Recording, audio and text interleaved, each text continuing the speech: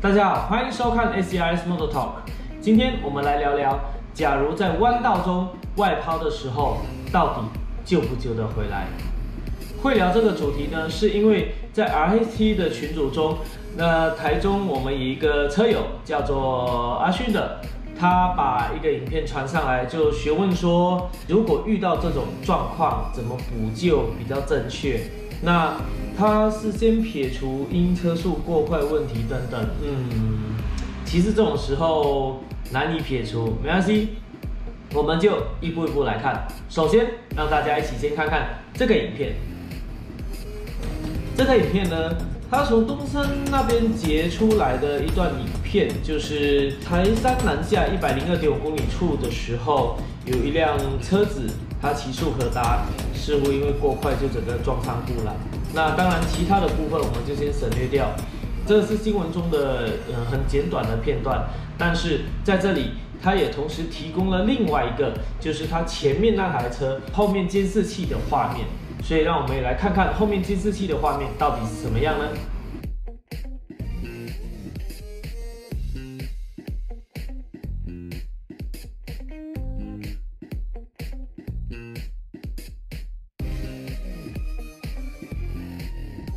看了这两段影片，不晓得各位你们现在有什么想法？我们首先把它拆成两个部分来说。第一个就是今天会形成这个事故的成因。那第二部分的时候，我们再来探讨说这个发生的状态，然后到第三的部分，我们再来看说是不是什么办法可以去避免它。首先第一步，为什么会出去了？从那个车后监视器的影片来看的话，这辆车主他在一开始过弯的过程中就已经在用最大的倾角在前进。那在山道中。路面绝对不会是完全平坦的，所以他在这过弯的时候，已经一直不断的推着极限。这个时候，只要他的传动壳旁边碰到地板，或者是山路中有一些凹凸，或者是后轮失去了抓地力，这个时候它都会产生这个现象。而我们看到，它开始打滑时，车辆后轮已经开始摇晃。然后车子才开始慢慢往外跑的，从这里就可以判断它是后轮滑动，就是后轮抓不住地面了，然后开始滑动再抓回来，然后就开始摇摆的状态。而大家从这个影片中也可以看哦，滑动的那一刻，它的车辆开始在摇晃。各位看到这种现象有没有觉得有点熟悉？有点像每次讲到的死亡摇摆这件事情。死亡摇摆这件事情。就有好几种状况都会发生，其中一个状况就是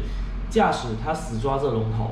控制了车辆的方向，所以它就会不断的产生摇摆，而它在摇摆的时候，车辆就开始偏离原本的轨迹，然而造成它外抛，甚至到撞上电线杆的情景发生。所以这个的话，最主要就是从它的后轮开始打滑，到摇摆时一直抓着龙头，然后就到撞上电线杆的这个部分，这个部分是。开始这件事情的成因，那在过程中有我们来探讨几个点。第一个，首先当然是它本身车辆控制的倾角跟车速，在这个路上都过快，因为我们都知道速可达它的倾角会受限于两旁，通常是会碰到中柱，那左边的话，他们有可能会碰到传动壳，而挡车，它当然收的比较高，速可达就比较低嘛，所以相对来说，速可达，当你在大倾角的情况时，你旁边就随时会碰到地面，一旦碰到地面，你的后轮就会被撑起来。接着我们来看看，他到底做了什么事情，让他的车辆持续性的外抛到救不回来的状态。第一个，首先它的车速已经过快了。当然，前面有说要排除掉车速过快这个问题，但我还是说说真的一件事情。通常在发生外抛的时候，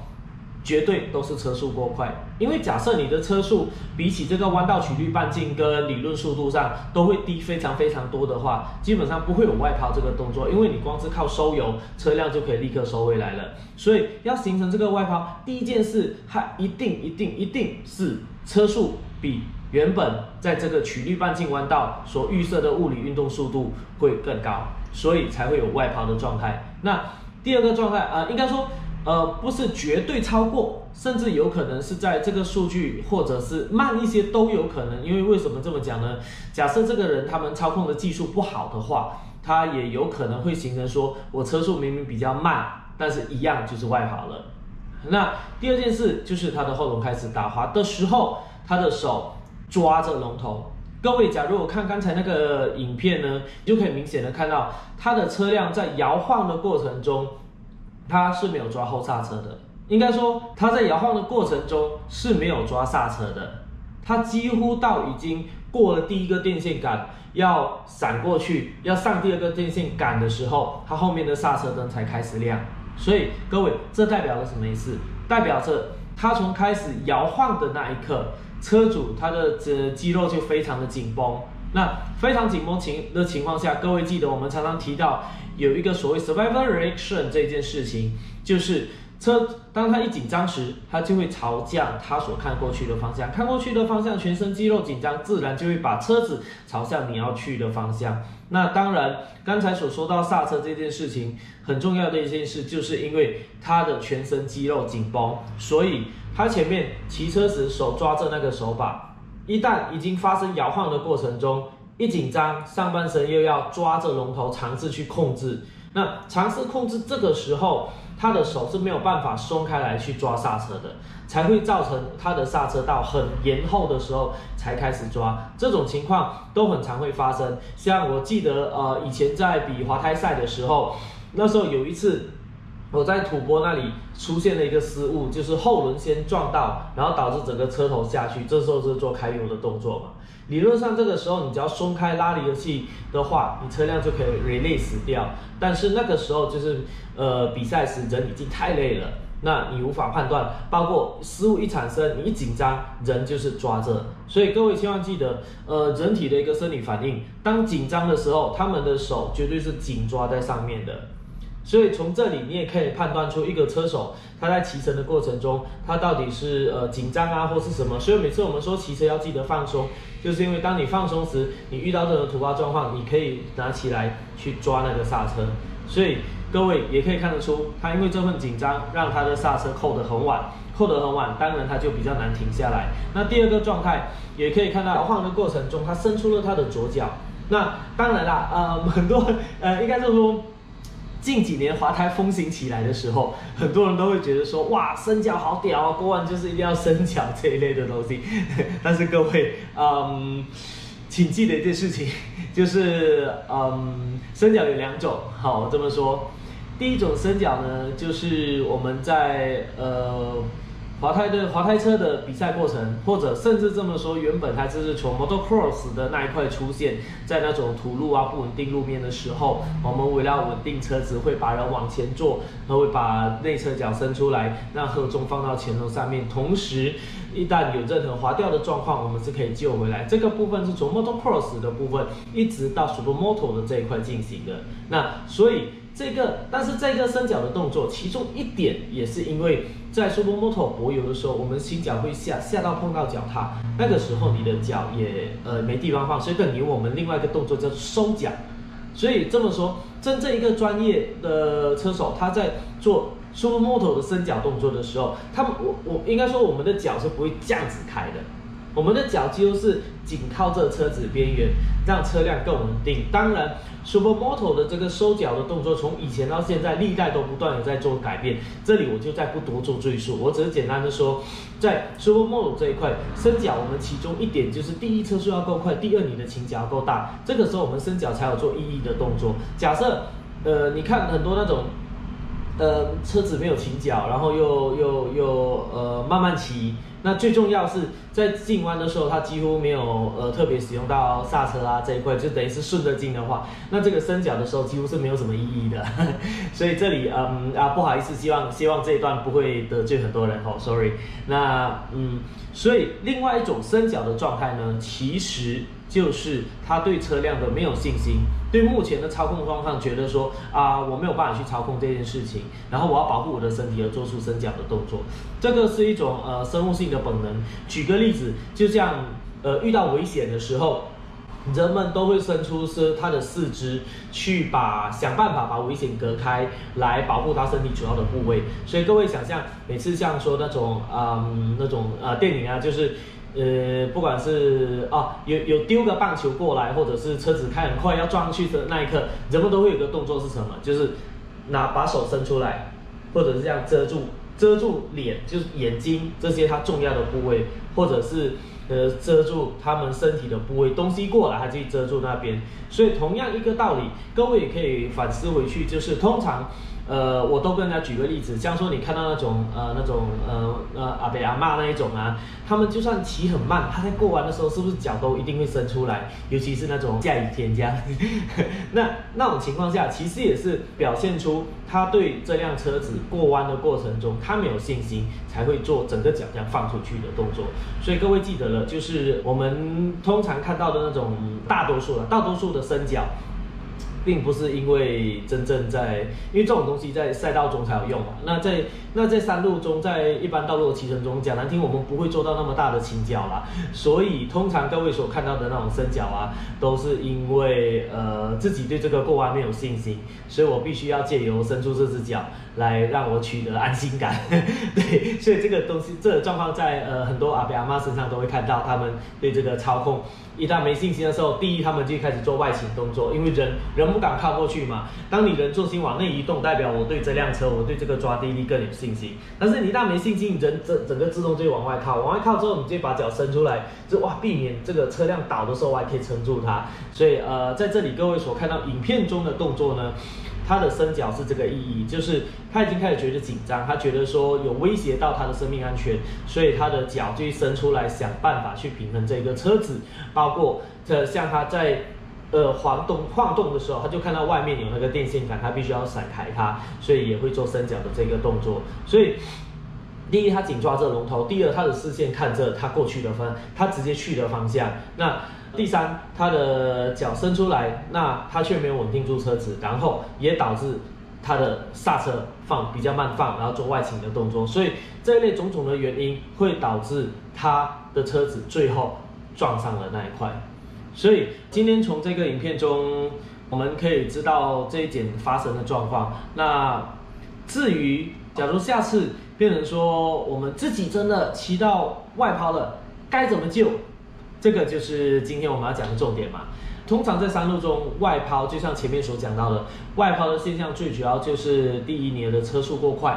哦。其实，嗯，对，其其实很重要的是车速过快，或者就是操控失误等等，像那个影片中摇晃导致外抛。那当你真的发生外抛的时候，是否有办法救呢？这里很遗憾，我要得告诉各位一件事。没办法，你只要是听到那种人家跟你说啊，在那种紧急状态啊，哇，要开始外抛，要怎么发生事故以前啊，我还可以怎么样控制车子啊，刹车前七后三，然后先抓再释放在那些，能够讲这一堆的人，我说真的，这时候我就要回一个字，放屁，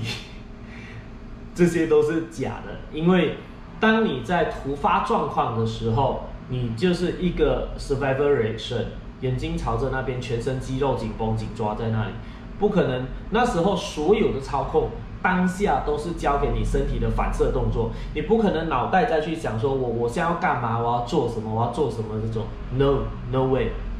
这是假的。所以当人家跟你说哦，我还可以怎么样操控，怎么样操控，讲难听点，那那都是举巴骑车，我我我也很厉害啊，我怎怎样怎样都可以飞起来，对不对？但是。但是我得要跟各位说，当你真正发生外抛，因为外抛通常是在你呃意外中，你无无无法预料的过程，突然就出去，这个时候整个控制只能靠你身体的本能反应。那本能反应就是 survival reaction 会出现这个动作。那至于好，当然也不是说哦就就完全完蛋啦。我这么说，假设。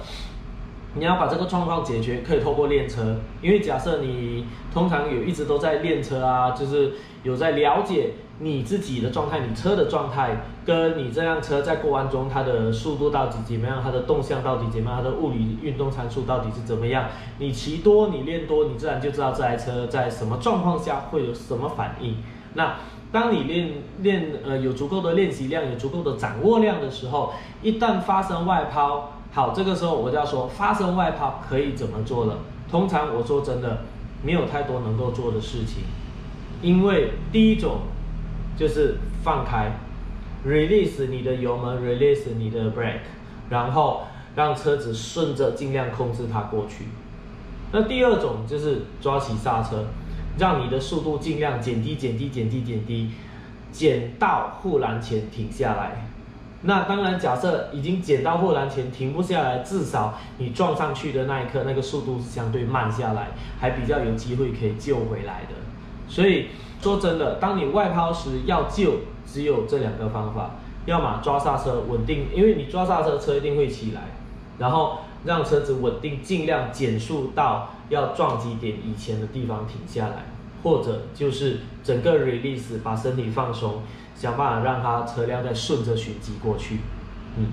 所以当下次真正发生外抛时，呃，是用这两种方法在解决。那我们在赛车场中一样也会发生外抛的状况，就像之前在，呃，我记得在大鹏湾那个时候一二号弯啊，然后还有，哎，还有哪一个？嗯，我记得是三号弯，三号弯、四号弯那个时候，三号弯那时候进去的速度太快，然后线也是收不进来，就一直往外跑，往外跑。这个时候我们做的动作就是把油释放掉，然后就把车子尽量再收线过来。所以各位，外跑可不可以救？还是可以救，但是前提就是必须要经过大量的训练，让这个所有的操控变成你身体本能的反应，这个时候才能够去谈论紧急状态下的急救方法。嗯，基本上就是这个样子，所以各位看完这里，假如你有什么问题的话，都欢迎随时跟我们提问。那当然，影片最后还是让我们小小的工商打一下广告。